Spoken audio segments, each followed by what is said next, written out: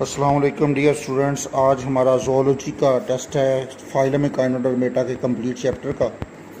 तो इसमें जो क्वेश्चन नंबर वन है, उसमें सिक्स शार्ट क्वेश्चन दिए हुए हैं, उनके आपने आंसर लिखने हैं।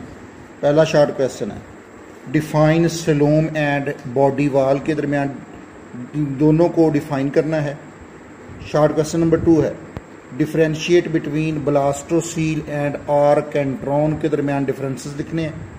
What is stomodeum. स्टोमोडियम क्या है? इसका फ़ंक्शन तहरीर करना है। How star fish move on vertical surface के ऊपर ये कैसे मूव करती हैं? व्हाट आर पोलियन वेजिकल्स इसका फ़ंक्शन बताना है। व्हाट आर स्टोन कैनाल्स इसका फ़ंक्शन बताना है।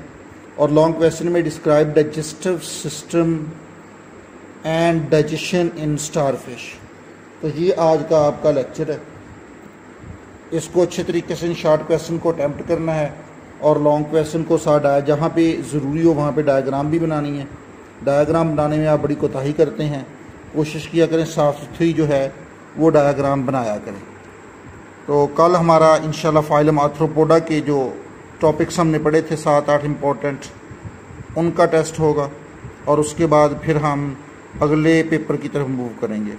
ओके अल्लाह हाफिज़।